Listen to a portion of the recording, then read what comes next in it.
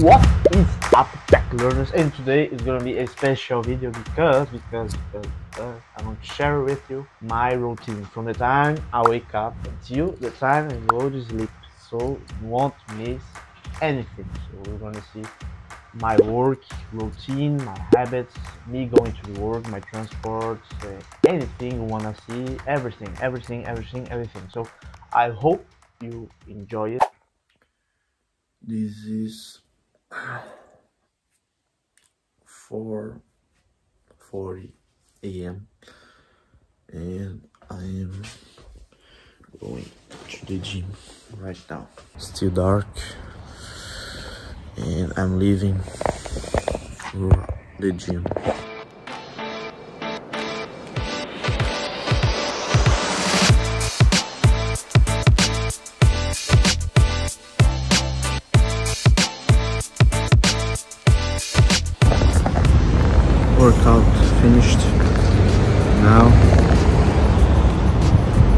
Back home. With this ugly girl. Gonna uh, dress myself. I'm going to work. Now I'm ready to work. It's roughly 9 a.m. I think. Now I have my lunch. Not my lunch but my meals ready. I want to store it here and I always carry them to, to work because I have a diet plan and I follow it every day. I eat at every I eat the same thing every single day. So see see you at work.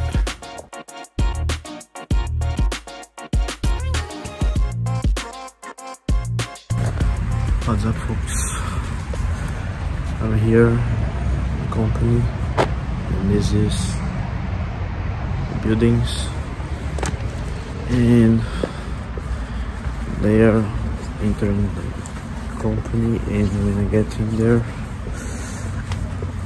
I'll feel myself try, uh, working a little bit and then I explain a little bit what I'm doing. So see you there. What's up? Getting back home. Is the beach with plenty of clouds. Not a good weather today. So I'm getting home. I'm pretty tired and that is pretty much almost everything on my blog I'm gonna record a little bit more when I get home so you can see a little bit what I do at home. What's up tech learners? I just got off from work and always when I get from work I, I can't I couldn't film this but always when I get from work I'm in the middle of a 60 days challenge. If you if you aren't seeing that you can follow me on Instagram. I'm gonna uh, leave the link somewhere in the description. And you can you can follow me to see a little bit in details about this project of the 60 days where I basically write 30 minutes every day I read 30 minutes every day I study one hour about the embedded system every day. And this study can be only studying or studying doing some project. And also what else I post something on LinkedIn about embedded system every day so if you also are interested in about uh, embedded system stuff. It can be newsletter, not newsletter, but embedded news and post about tips and projects I'm doing, etc, etc, etc. You can follow me on LinkedIn and you can see everything um, that see everything there. And here I'm at my desk and I'm actually making my project with Arduino and a USB to serial adapter where it's a pretty pretty pretty simple basic project where um, I'll send a string to, via UART to the standard output. Not not big deal but it's just to just to keep practicing and understanding in a more low level layer how every block is interconnected etc etc etc so I'll be studying one hour and then I'll I'll, I won't, I won't film this after I, I'll be finished but after my one hour is finished I will just eat my last meal before I go to sleep. And uh, I forgot what I was about to say, but anyway, uh, I'm gonna study here and uh, you're gonna see a little bit what, about what I'm doing. Well, I'll film me study. I'm reading also a, an Arduino book. It's called Programming and Interfacing Atmel AVR. So I uh, wanted to restart from the basics about embedded systems. So I'll, I'll make in together with this 60 day series I'm restarting, relearning embedded system from scratch. So I'm taking an 8-bit microcontroller and I'll, I'm understanding with a different perspective than I was uh, a time ago when I studied for the first time.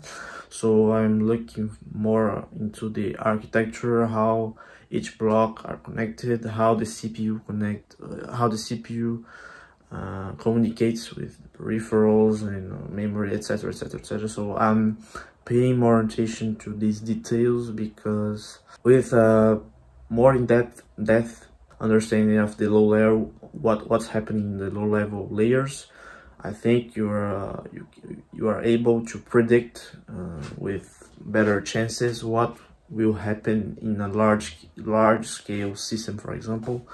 And this can be really valuable for an engineer. And I I came to this conclusion also discussing with an engineer from embedded systems engineer from Google and I discussed with him in LinkedIn asking him asked him some questions and he gave me those insight, insights that should focus on mastering the basics. So it's computer architecture programming and operating systems. And then you can uh, go up level up a little bit the knowledge for more complex topics such as device drivers RTOS, etc etc etc so in the 60 days challenge i'm focusing on the basics so you won't be seeing me uh, doing anything complex. I'm doing everything every every basic thing. So uh, with a good, really good understanding with what happens in each layer of software, in the low layer, etc., in the resistors, etc., etc., etc. Because it's a 8-bit microcontroller, you can have have a a better understanding uh, of this its architecture and also you can make more low-level projects and you can better control uh, the processor in general but anyway i talked too much so let's dive into it